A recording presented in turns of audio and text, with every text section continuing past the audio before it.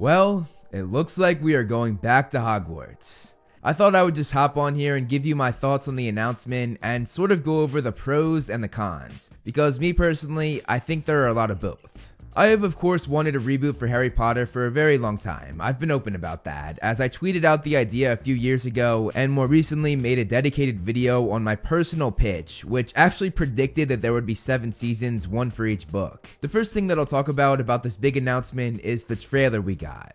It plays the classic Harry Potter theme song, it has the same Harry Potter text font, and it has the same castle layout. I'm assuming they just did this for the views and also because it was easier than making a whole new look, but if they stick with these three things, the castle design, music, and text font, it's going to be a problem. They need to make this show as different from the original 8 movies as they can, because they are going to be held to a massive standard. The Harry Potter movies are some of the most well loved adaptations, and it hasn't been that long since they came out. It's inevitable that people are going to compare this show to the movies, which is why they need to do everything to make sure that happens as little as possible, and that means a total rebrand. Just a thought I had, it might be cool if they went with the Hogwarts Legacy Castle, because they added and changed all sorts of things for that game. So that proves that it is possible to make a castle separate from what the films did, even though it is so iconic in the movies. Now, one of the biggest things we have to talk about is the cast. Daniel, Rupert, and Emma are everybody's definitive Harry, Ron, and Hermione, whether it's watching the movies or reading the books. When we read the books, we all now picture those three actors. Rupert Grint actually had a really interesting statement where he said everybody except him pictures him as Ron, but he still sees Ron as he saw him when he read the books originally. Whenever I read the books now, I don't see myself as Ron. It's weird. I've always, I've still got my same.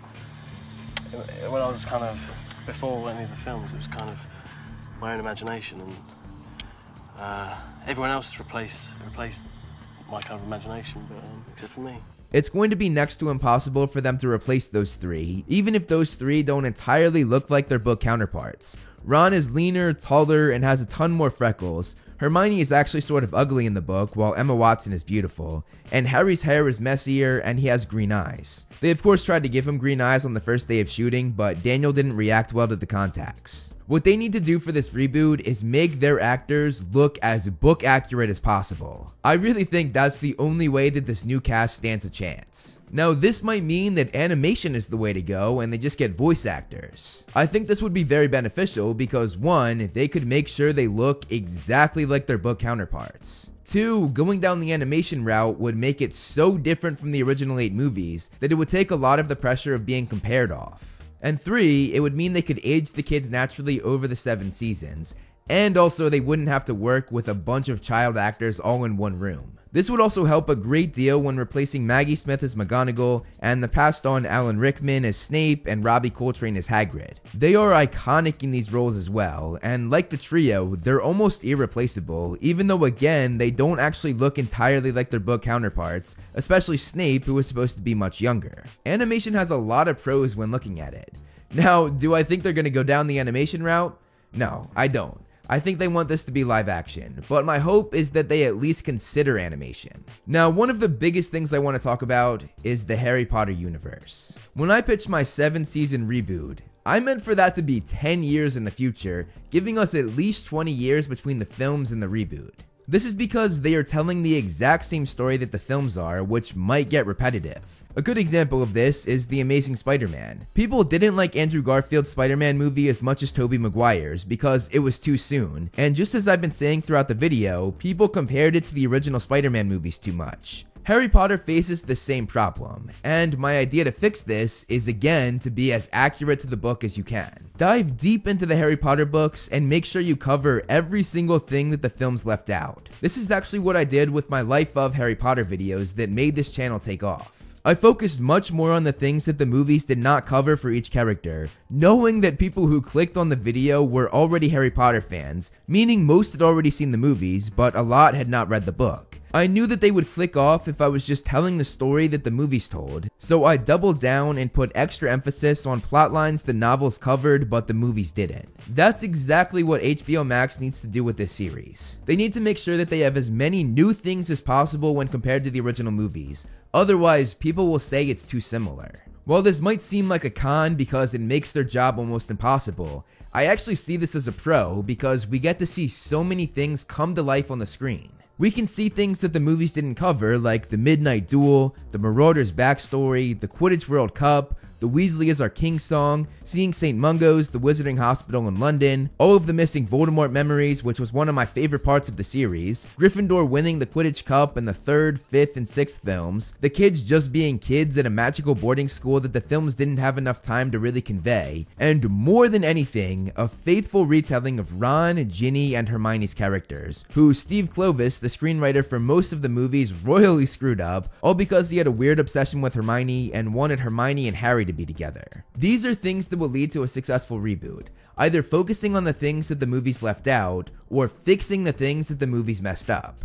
Seeing Ginny, who was actually super popular, confident, absolutely beautiful, and who isn't on cringe-worthy awkwardness levels is something I would love to see on screen because the movies messed that up so much. And the same goes for Ron and Hermione, Hermione might actually be portrayed as sort of ugly and not like this goddess that the movies made her, and her friendship with Harry might actually be accurate to the book, making it more of a brother sister relationship rather than a couple relationship. And maybe this time around, Ron won't have all of his good moments taken from him and given to Hermione. All of these things are massive pros for this series because they can fix so much. Now, the logistics of the series. HBO Max announced the rebrand the other day, now going by the name Max, dropping the HBO part. And this Harry Potter show is 100% the poster child of this rebrand for them. HBO Max has already shown that they are good at adapting big franchises with House of the Dragon, so I'm very happy that this went to them and not Netflix, who has messed up a few projects. Now, is this a cash grab?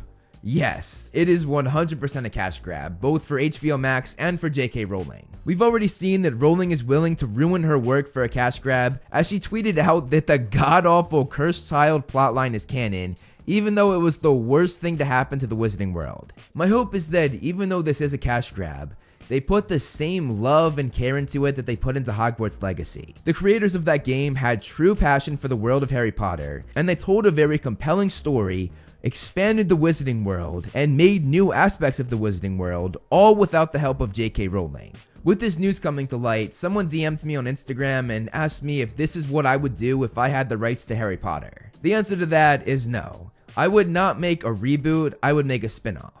The spin-off I would make would not be something like Fantastic Beasts though. As much as I'd like those movies, that was not the direction the franchise should have gone. I would make a spin-off series about either the Marauders, the four founders of Hogwarts, maybe one about Mad-Eye and his days as an Auror, and a few other things that I mentioned in my pitch for the video, which I'll link below. But I would definitely focus on characters we're familiar with, not a magizoologist who had literally one mention in the entirety of the massive seven books. But that leads me to another pro that this series could bring on. This series could lead to a bunch of spin-offs, which again is something that I mentioned in my pitch video. I said that the original show should be 7 seasons, and from that, they expand and add spin-offs. At the same time though, I really don't want Harry Potter to become saturated much like the Star Wars universe and even now with the Marvel Cinematic Universe. There's definitely a balance that needs to be maintained, which I get is really, really hard. But if they can do what the Hogwarts Legacy creators can do, I think that I have hope that they can do it here. So my final thoughts. I'm both excited, but also sort of nervous about what's to come. As I went over my thoughts, there are a lot of pros, and there are also a lot of cons. I think it would be awesome to have some of the Hogwarts Legacy team put into this project,